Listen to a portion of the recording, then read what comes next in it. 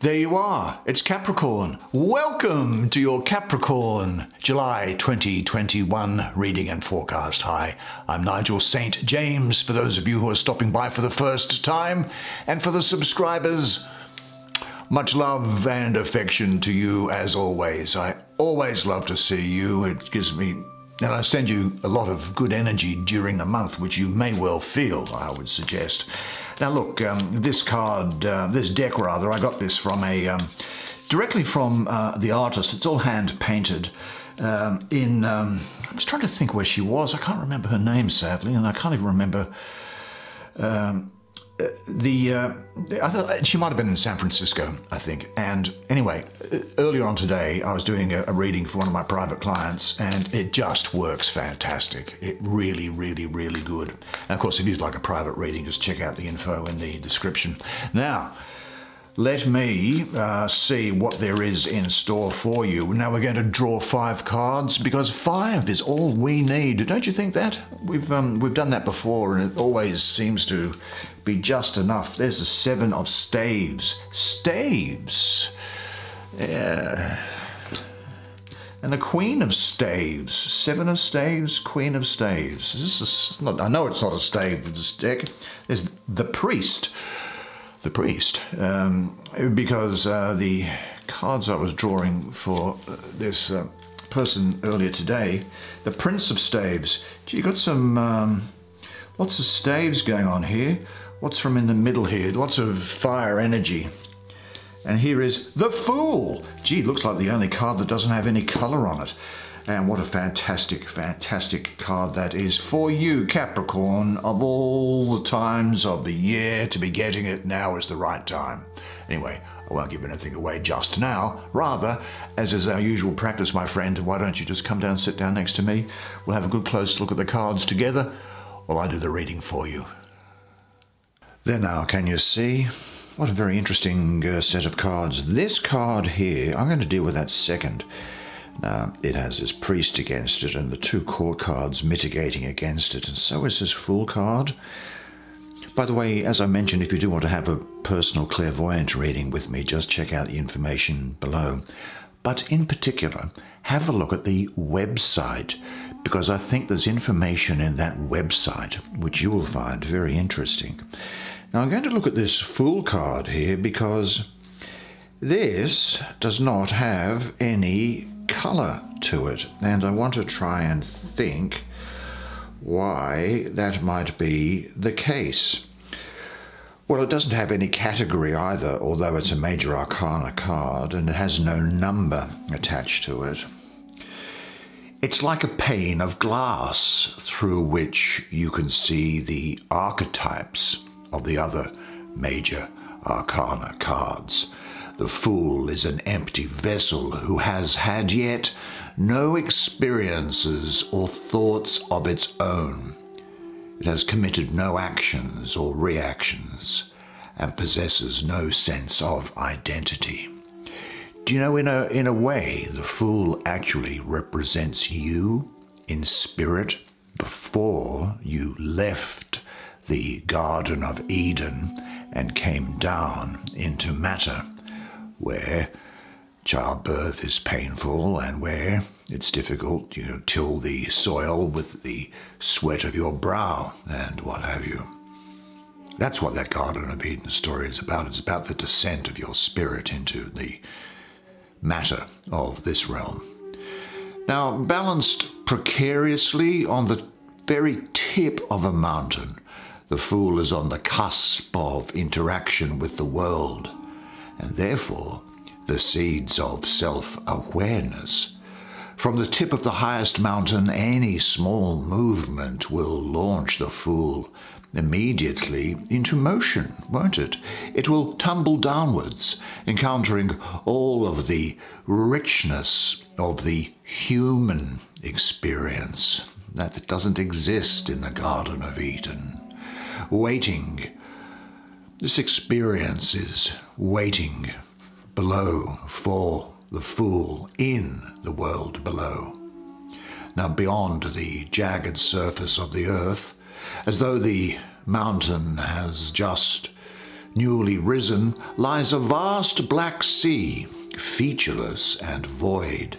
Celestial bodies fill the sky, planets and stars and asteroids and eggs and singularities. Fascinating, fascinating. Now, those things cluster in orbits as though the Fool was the beginning and center of the world. Now, no eyebrows on the Fool, blank, like a baby face of the Fool. There sits a tentative smile, oblivious and open and ignorantly fearless. The Fool knows nothing, thinks nothing, feels nothing, has no opinion or ego of its own. This approach, I suppose, this starting point, is the only way you might approach the deeper mysteries of the universe. The Black Sea beyond the mountainous landscape is the mysterious frontier. The fool does not know enough to be afraid and will be its first explorer. Now, based on the first insights of that card there, I think what we can say is that this is a period during which you'll have a degree, well, I think a large degree of openness and trust and be ready to take a risk. You'll have the courage to stand your ground Freedom, independence, creativity, they are going to be important to you. This is a time of great potential for you and the possibility to take a quantum leap in relation to some activity or problem that you're working on. And you'll be listening to your heart's voice. In particular, you'll be in the present. This is also a time of new beginnings, I think. And not so much a leap of faith, but perhaps a leap of fate. And the actions that you take, they won't have any malice associated with them at all. The fool is the one who walks without fear. The spirit of the ether is what I call it. Actually, it is genderless. There is neither male nor female in the fool, or alternatively, there is both male and female in the fool. There's the start of something new or spontaneous going on here, the beginning of a journey into the unknown which is full of potential for you. There is, as I say, the, the need to take a leap, not of faith, but of fate, with the inner confidence, though, that you are going to be okay, just as this fool actually ends up being okay. Opening, open your life and have faith that you can create what you want. It may well be the desire to want to break free from the usual routine of life and look upon life, though, as the fool does and be empty once again, as if a child. There's very much a manifesting creativity towards here, a move towards wholeness, reowning your courage, and perhaps even an attention to the spiritual journey, and the courage to be who you are without, without any fear at all. You are ready now for a new beginning, perhaps even a quantum leap Give in, dare to leap, even if fear attempts to hold you back. Trust the voice from within your heart. What is fear for you? How do you imagine the courageous leap into the new? What does it look like? Where does your heart call you to go? And say to yourself during this time, I now follow my heart. I am open and ready to go wherever it may lead me. I am a radiant being. I am a living treasure. I honor and value the unlimited resource of courage which is in me. I respect the nature of who I am and there is nothing to fear. Yeah, that fool energy is just sensational for you, I think. Now let's have a look at this card here, which is the Seven of Staves. Well, who are you? Who is this Seven of Staves? There's a woman there. Well, what might I call you? I might call you the Queen of Staves. That's who you can be. The Queen of Staves hovers above the surface of the sea from which grow the seven staves, almost as though they are living trees that, once planted, may bear fruit on their own, and they are anchored to the earth beneath the water. Her eyes are shut. She wears a headdress as though she had received recognition from the world of her status as queen, I suppose. And she is curled in a fetal attitude of prayer. She has, in a sense, retreated from the world. She is in the infant posture, isn't she, of sleep, and her eyes are closed. But she is, in fact, the spirit of a larger movement, I think. The staves she has planted are growing upwards. She has become a leader, herself a source of inspiration, spreading to affect a family, a community, a city, or a whole world. Now, there's an interesting astrology for me associated with this card in this position where it is here, and, and it is Mars in the third decan of, of Leo. The other interesting thing here is that the number seven for me has a mystical association with the feminine planet of Venus, which is uh, beauty, sensitivity, healing, and those sorts of things here. But Mars ruling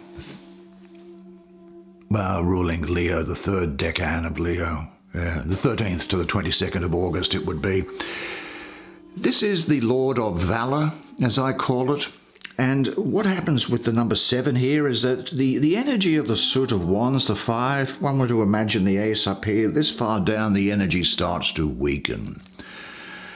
And, um, and the feminine energy of Venus associated with the number seven further dilutes the strength of fire in the suit of wands.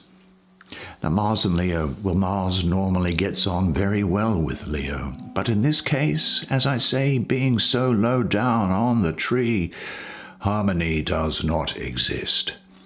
And also, the feminine energy of Venus doesn't sit very well with Mars, and it may well be that you feel in relation to some matters at the moment, although they're dissipating, that your Mars energy is pretty much all that is keeping you going, although it feels like you are fighting a losing battle. Do you know, I call this the Lord of Valor, and this is talking to you at the moment of you having courage and daring, taking risks, and not making any compromises. It's also about you pushing through obstacles. The male, warlike power of Mars, combined with the daring of the lion in Leo, produces incredible force and impact. The fight will be carried out impeccably with you, I think.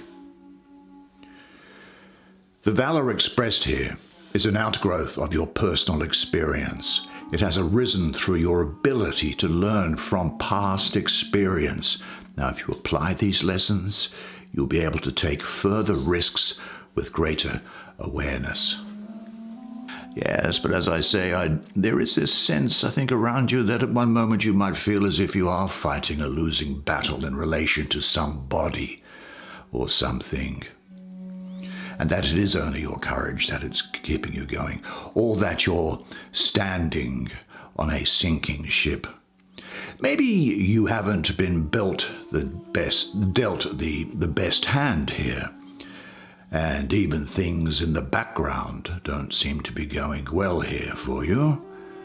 But I can tell you that, that they are. They are coming together. They are coming together.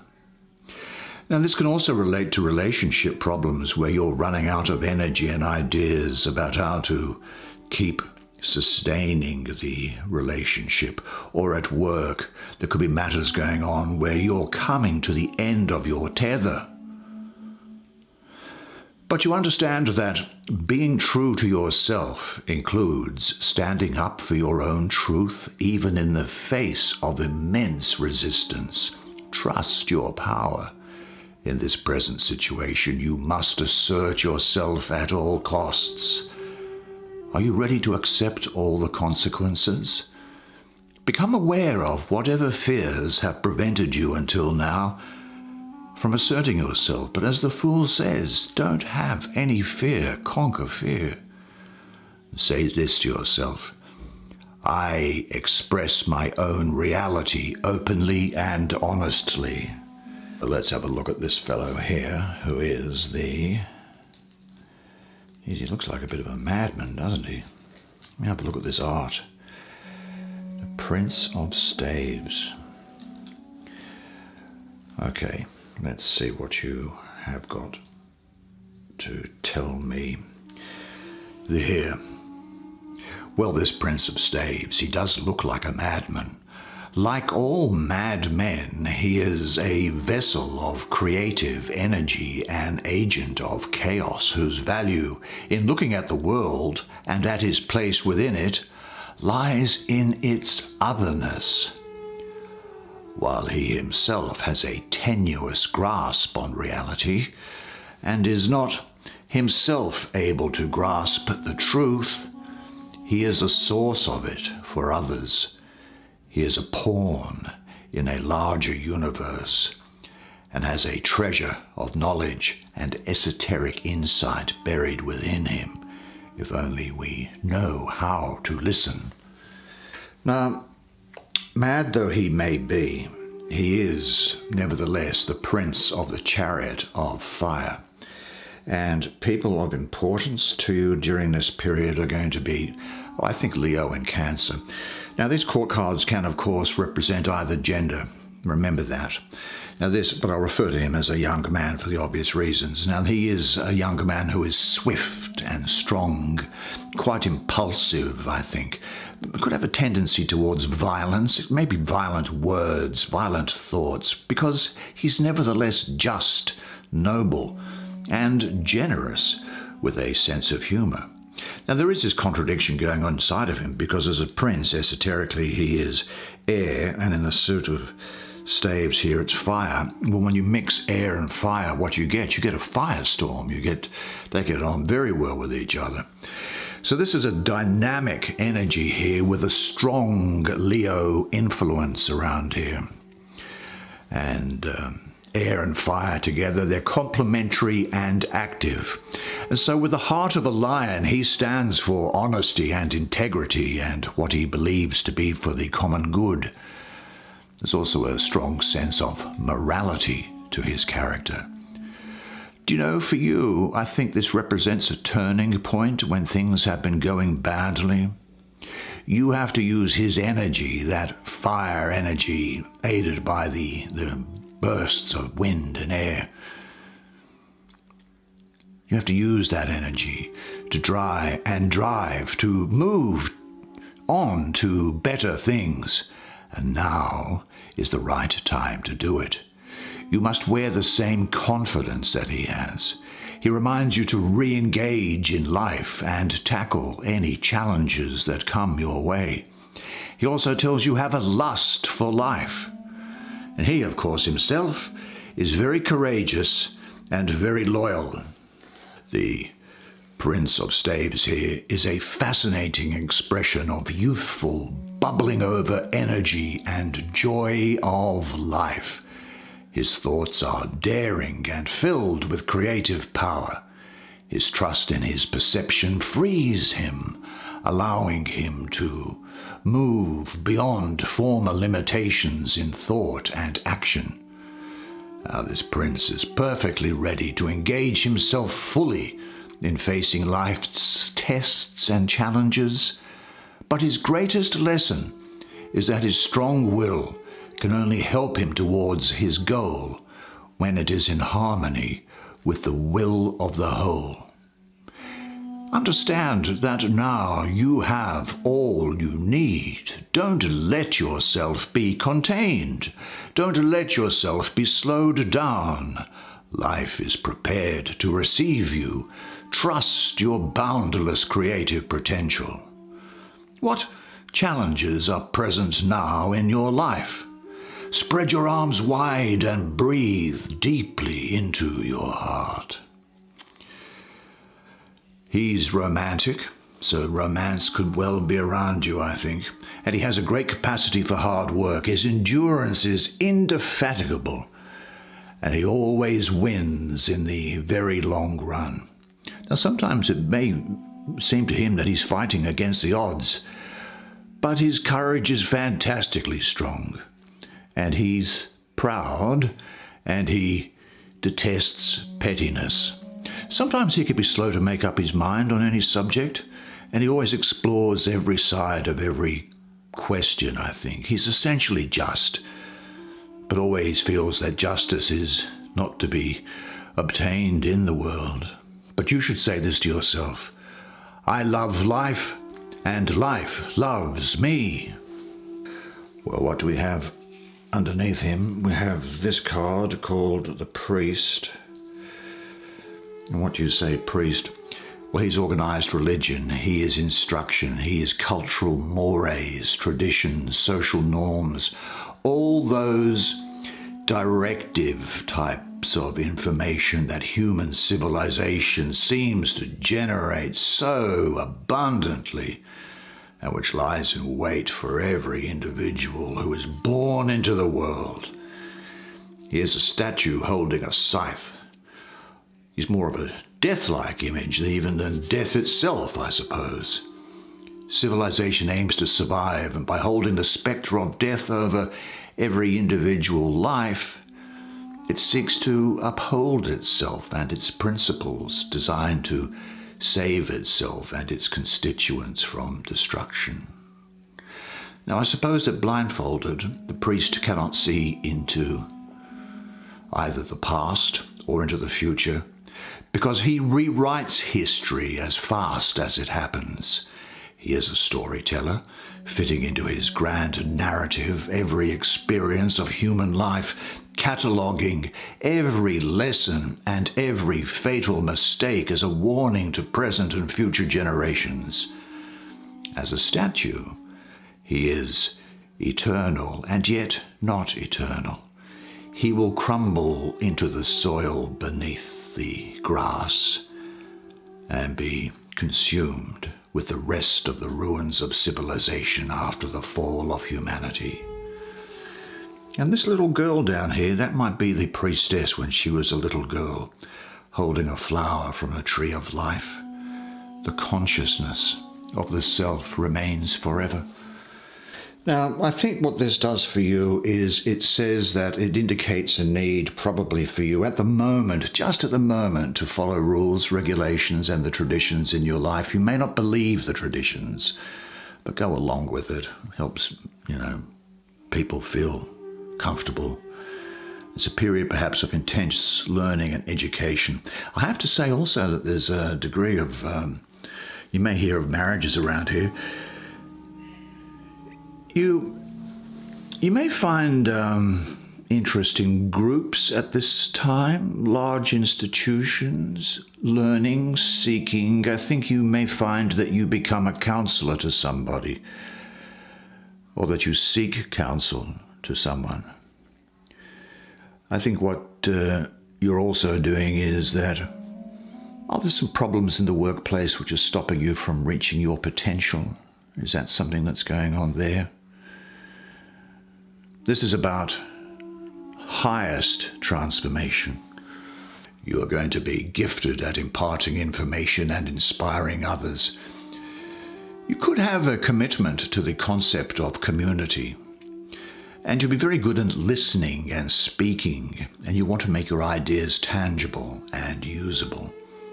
And definitely a deep desire to be challenged by new experiences the search for the self leads you perhaps into the spiritual realms. This can sometimes be a signpost to you meeting a spiritual teacher. So be open to it anyway. Involve yourself with the teachings of spiritual masters. Check them out on the internet. But say this to yourself I honor the sacred within me. I am inspired by learning and teaching. I am creative and productive in my family and professional life.